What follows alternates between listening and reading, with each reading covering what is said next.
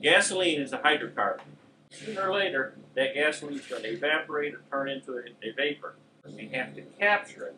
We cannot let hydrocarbons escape to the atmosphere. So they seal the system so they can't evaporate, and they use the vacuum that the engine creates to draw those vacuums from the gas tank all the way up to the engine.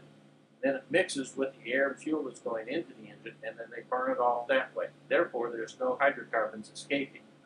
Now, because gasoline can evaporate at any time, whether or not the car is running, those vapors can't vent to the atmosphere, so instead they vent to the charcoal canister, and the charcoal will store those hydrocarbons. Now, once they're stored, whether or not the engine is running, that's where the vacuum draws them from. They don't really draw it directly from the gas tank.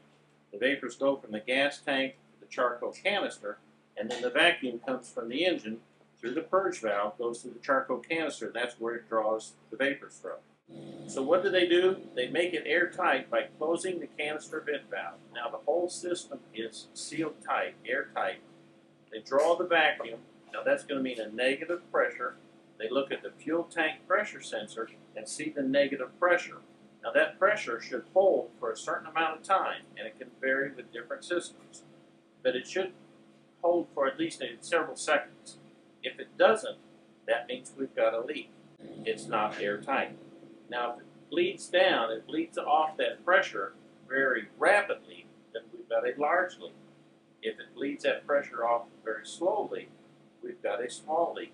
So we can set a code for a small leak or a large leak.